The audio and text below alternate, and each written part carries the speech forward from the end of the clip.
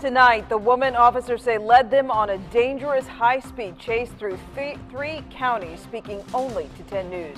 We brought you that chase live on Monday as that car drove over a lawn and then sideswiped a pickup truck.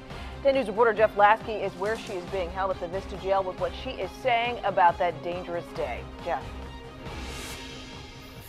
Ariel Ada Cifuentes still seems like she's in shock. Now, right now, she's in custody here at the jail behind me, but just a few hours ago, she invited me down the steps and through the front door to come talk to her.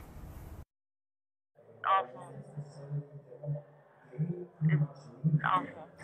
That's how Ada Cifuentes describes the week since this happened. A wild chase, speeds reaching 100 miles an hour, spanning three hours from northern Los Angeles County to outside Fallbrook.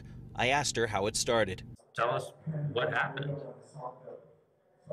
I can't say because they don't really remember a lot. That's how much of our conversation went. Officers say Monday morning she was driving erratically and speeding. They suspected she was intoxicated, but when I pressed her on her memory of the chase, So you don't actually remember kind of the whole the whole morning? No, I don't think I should talk about this because I don't, I don't, I don't want to get in trouble more than I already am.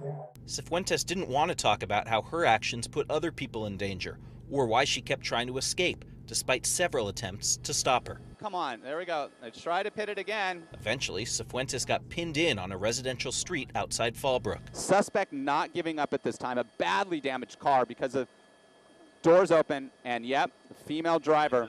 Cifuentes told me she's never been in trouble like this before and hinted at some regret. If I would have known better, I don't know. I don't know. I really don't know. Things I wish things were different. I don't. I don't want to be here. But when I tried again to get details, If this was conclude our interview. Yeah, now Cifuentes is still here because the judge raised her bail to $150,000. As for the investigation, we'll learn more as we track her case as it goes through the court system. Live in Vista, Jeff Lasky, 10 News. Okay, Jeff, thank you.